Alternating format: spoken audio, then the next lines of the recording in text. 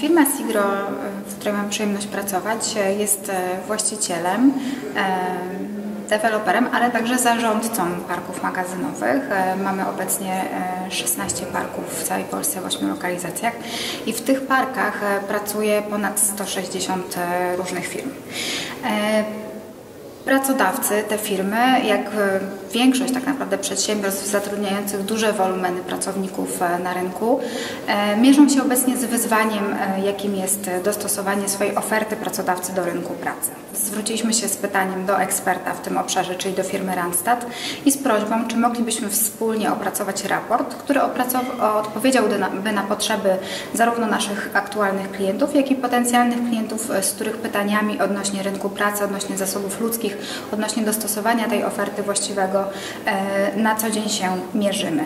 Więc e, de facto genezą powstania tego raportu e, była nasza bliska współpraca z klientami, to, że ich słuchamy, a z kolei nasi klienci słuchają potrzeb swoich pracowników i wiedzą, co jest najlepsze dla ich biznesu, czyli no, chcą być tym dobrym, pozytywnym pracodawcą. Stąd też pomysł na nasz wspólny z firmą Randstad raport. Firmy w dużej mierze zmuszone są konkurować wynagrodzeniem, aby przyciągnąć jak najwięcej pracowników. Z uwagi na niską stopę bezrobocia e, niestety tych pracowników nie można e, pozyskać już bezpośrednio z rynku, trzeba po prostu ich pozyskiwać z innych e, konkurencyjnych przedsiębiorstw.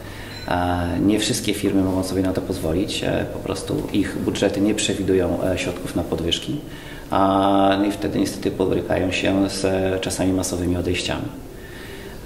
Jak można sobie z tym radzić? Na to staramy się odpowiedzieć w raporcie choćby poprzez 7 e, kroków do serc pracowników. Niektórzy pracownicy starają się sięgać po pracowników dalej, a chociażby do Nepalu czy Indii.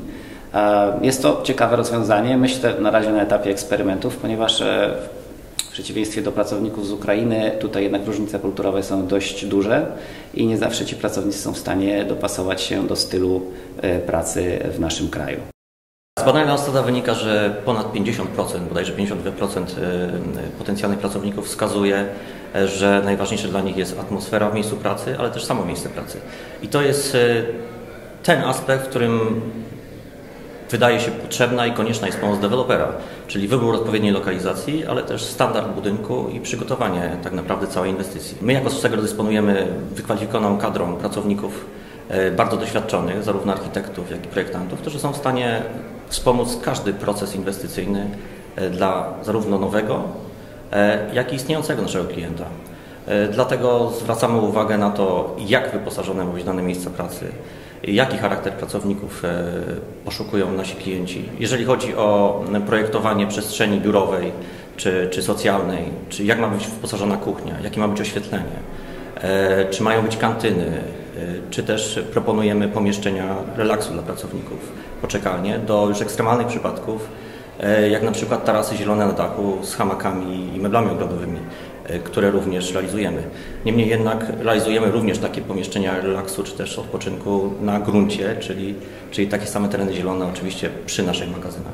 Magazyny awalują w kierunku faktycznie e, polepszenia tych warunków pracy.